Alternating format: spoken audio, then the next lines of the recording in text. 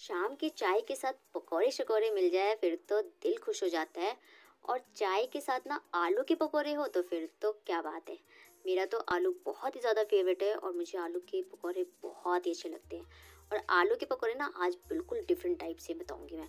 मतलब कि आलू के पकौड़े वैसे तो सिंपल खाते ही हो, लेकिन आज ना आलू के पकौड़े मतलब बिल्कुल एक सीक्रेट के साथ, जिससे आलू के पकौड़े ना बहुत ही टेस्टी लगते हैं।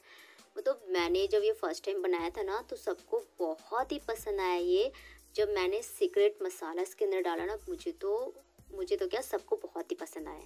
तो ये देखो मैजिक मसाला मतलब मैगी मसाला इसके अंदर ना मैगी मसाला डाल के बनाओगे ना, और लहसुन वसन डाल के बनाओगे तो बहुत ही टेस्टी लगते हैं आलू के पकौड़े, बहुत ही ज़्यादा। एक बार ट्राई करके देखना इस तरीके से। मतलब कि टेस्ट चेंज हो जाता है और इतने अच्छे लगते हैं ना। मतलब मैगी का फ्लेवर और ये लहसुन का फ्लेवर मतलब कि फिर तो दिल खुश हो जाता है आलू के पकौड़े खा के। इस तरीके से ट्राई करके देखना और मुझे कमेंट करके ज़रूर बताना। तो ये देखो कितना अच्छा बैटर सा तैयार हो गया ना ये। मतलब ज़्यादा पतला भी नहीं, ज़्यादा गाढ़ा भी नहीं, इस तरीके से बना के देखना आप। और प्लीज़ मेरे चैनल को ना सब्सक्राइब भी कर दिया करो और सारे फूडी फ्रेंड को ज़रूर शेयर कर दिया करो और जल्दी से ना बहुत सारा शेयर करो और सपोर्ट करो। तो ये देखो, बिल्कुल क्रिस्पी क्रिस्पी से। आप मुझे कमेंट करके बताओ कि आपको आलू मतलब कौन से पकौड़े अच्छे लगते हैं सबसे ज़्यादा?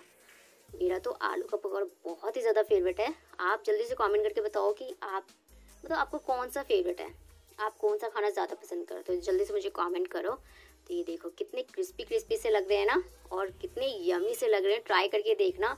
अगर रेसिपी अच्छी लगी है तो लाइक शेयर ज़रूर कर देना और प्लीज़ चैनल को सब्सक्राइब कर दो, नीचे लाल बटन दबा के और बहुत सारा सपोर्ट करो।